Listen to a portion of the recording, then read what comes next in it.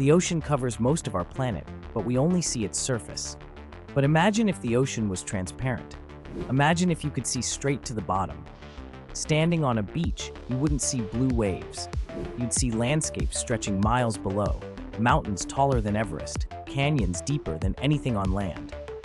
Ships would sail above reefs, ruins, and predators, all visible from the surface.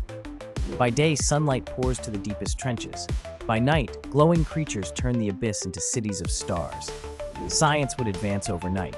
Tourism would explode. Humanity would finally see the secrets of the deep. But beauty hides danger. Colossal whales, giant squid, predators drifting beneath your feet. Some would marvel, others would panic. And life would change. Creatures evolved for darkness would die. Coral reefs would bleach. Abyssal ecosystems would collapse. The ocean is powerful because it hides its mysteries. A transparent ocean would be dazzling, surreal, and terrifying. Would humanity celebrate its beauty or mourn its destruction?